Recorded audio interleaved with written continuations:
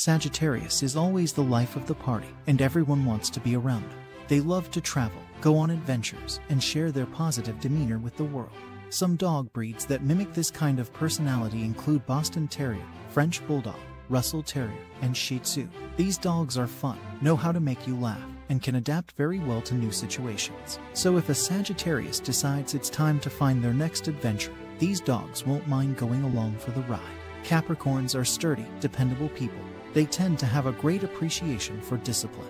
The kind of dog that would best fit a Capricorn is one that is calm and isn't loud or fussy. A highly energetic dog would probably be too taxing on a Capricorn. Astrologers suggest Belgian Sheepdog, Shar-Pei, Pekingese, Rhodesian Ridgeback, and Shiba Inu. According to one animal rights activist, people tend to describe Shiba Inus as independent.